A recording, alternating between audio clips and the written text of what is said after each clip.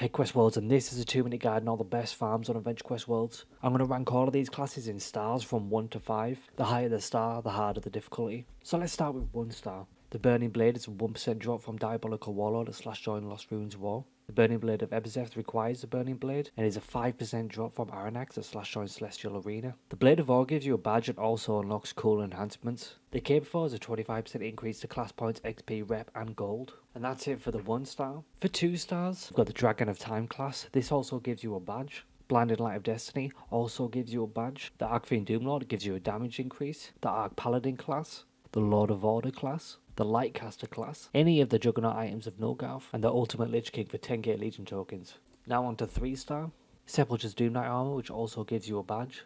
Classic Hollowborn Paladin armor, and also gives you a badge. Chaos Avenger and the badge. The Yami no Ronin class, original Drakath armor and the badge. Helm of the Legion Beast and the badge. And now on to 4 star. We've got the Void High Lord class, we've got the Legion Revenant class, We've got the Enchanted Nulgath Nation House, which gives you access to farming quests and straight to Tercessuinotlim. And then a Necrotic Sword of Doom and the badge. I recommend farming the Seppi's armor before this, but it's up to you.